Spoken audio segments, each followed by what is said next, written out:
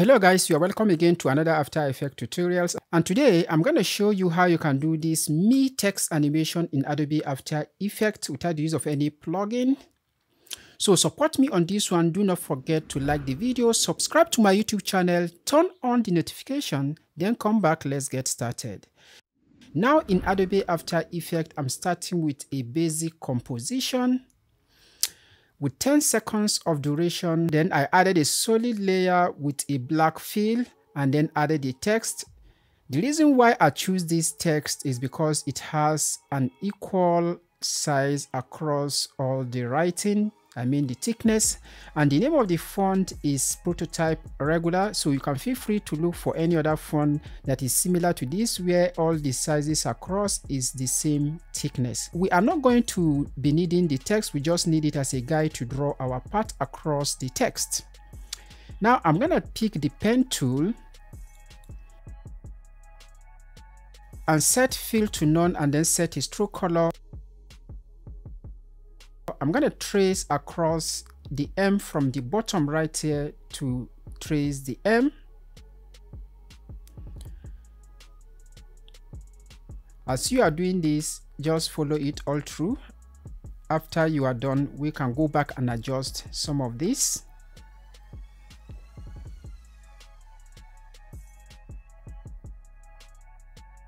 Now let's adjust quickly some of the part that is not fitted.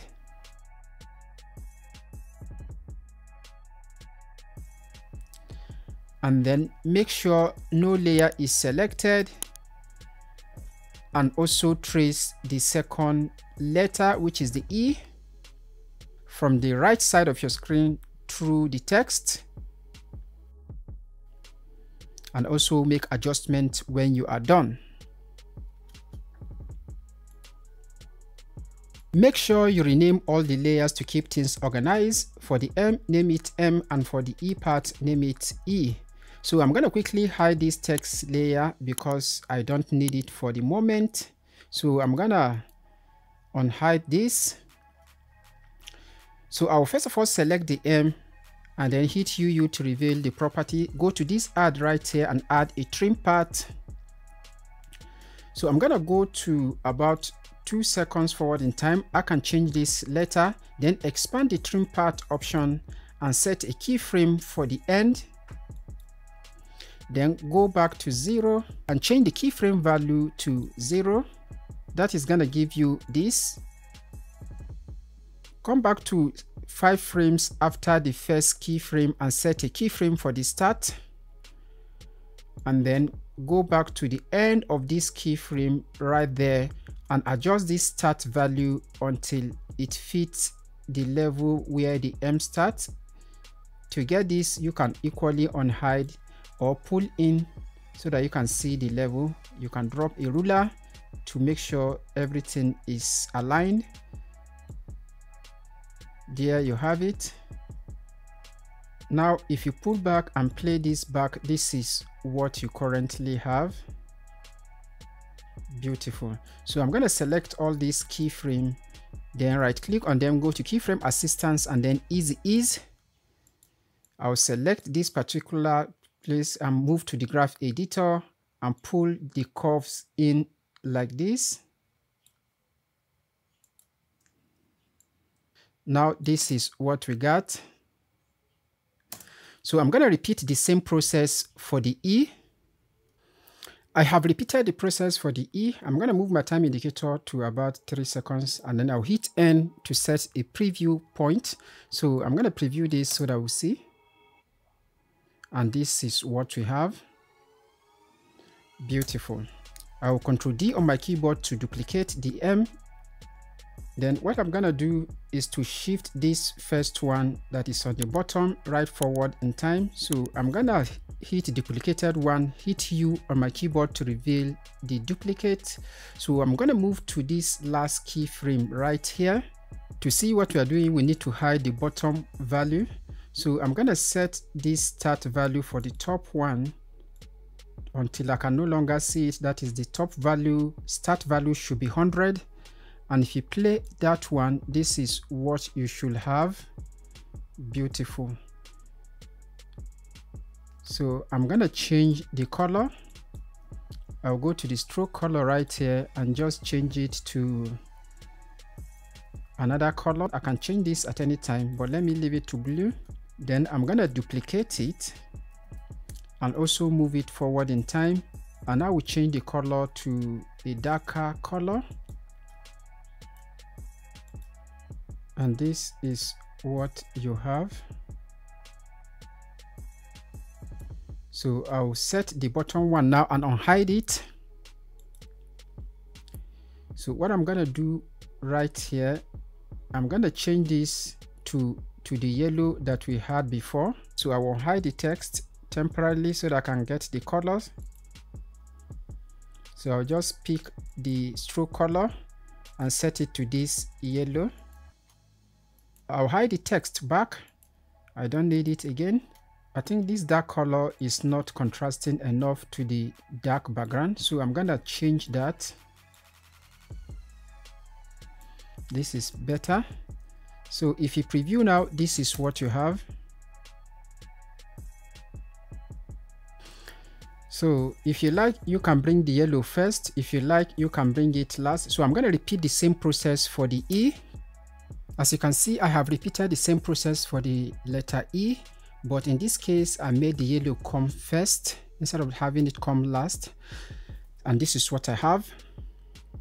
Beautiful. So the next thing I'm going to do now is to select the M, right, the one on the top. I'm going to select it and duplicate it. So I'm going to change the color to white. I'll set the stroke width to 3 then I'll move it to the bottom of the hierarchy on the M layer. So what I'm going to do is to just offset it to this point, then hit P on my keyboard to push it to one side to the left. And this is to give me this. Beautiful. So I'll do the same thing for the letter E. So if you preview now, this is what you got. Beautiful. So what I'm to do now is to control A to select all the layers. I'm to deselect the BG and then pre-compose it. I'm to name this text and then make sure I move all attribute to the new composition, then hit OK. I'll pick the rectangle tool, make sure no layer is selected and create a box around it. Hold down your control key and double click on the anchor tool to move the anchor point to the center. I'm going to simply also align this to the center. I'll duplicate it, then hide the first one. I'm going to rename this to box. Then I'll rename the second one to stroke box. I'm going to select the box layer and then set the stroke to none. and set a fill color. I'm going to set the fill color to yellow. You will not be seeing your text at this point, but do not worry. So I'll move to this point. I'll first of all hide the box layer. Then I'll move to the point where all my text animation has completed to this point. Then I will hit P on my keyboard on the box and set a keyframe for the box. This point I will hide it. Then I will move back forward in time and move this up. If you preview that, this is what you have. Beautiful. So I want to make it a bit faster and then still move it to this point. Beautiful. I'm gonna move this keyframe to the beginning right here. I just wanted it to help me time when the box should come down. So what I'm gonna do now is to mask this box into three. So I'll first of all select the box and then pick the rectangle tool again. Then I'll activate this tool right here so that I'll be able to draw a mask on the box. So I'm gonna draw a mask like this. I'll select it and then duplicate it. Then I will hit M to reveal the mask property. I'll move the mask forward by hitting the arrow key. I will duplicate it again and repeat the same process. I'll collapse all the options and then offset it two frame each forward. And that is gonna give me this drop. I don't like the way it is just showing up like this. So I'm gonna hit uh, select the three layer hit U on my keyboard. I'm gonna change the positioning. So I'll come to the first layer and then move it up completely out of the frame and I'm gonna do the same thing to the rest of the layer. Yes I think this is better. Beautiful. So I will select the tree and then pre-compose it. Make sure you move all attribute to the new composition and then hit ok. So what I'm gonna do now is to offset it to where the text is almost completed. I want it to happen almost at the finishing point. Beautiful now duplicate the box layer and move it to the top of the text. Also duplicate the text. And then on this text layer, I'm going to add a fill color. I'll change the fill to black.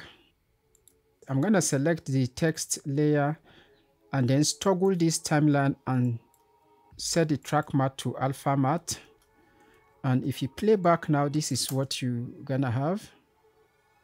Now if you remember we hidden a box right here. So I'm gonna hide it. And then what I'm gonna do at this point is to set a scale. Beautiful. Now right click on your timeline go to new and add a new adjustment layer. We're gonna add the transform effect So I'm going to set a keyframe for the skew. Then I'll move forward in time to this point where it is completing and set the skew value to negative 10. I'll hit U to reveal the keyframe. So what I'm going to do right here is to go back to the first keyframe and set a keyframe for the scale. So I'll move my time indicator again to the last keyframe on the skew and then scale this up if you like you can scale it back down. This will all depend on your preferences. So but let me use the scaling down backward. Then I will select all these these keyframes. And then easy ease if you preview the entire animation this is what you now have. Beautiful. But I want this to happen before a bit time earlier in time. Beautiful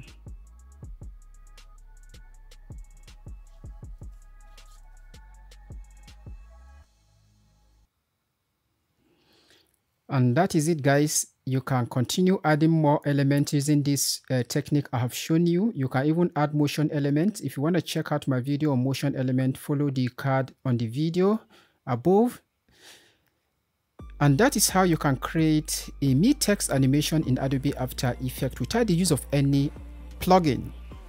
If you learned something new on this video please hit the like button that will enable the algorithm to suggest this to more people. If you have any question please feel free to ask me in the comment section and i'll reply to all questions as quick as i can.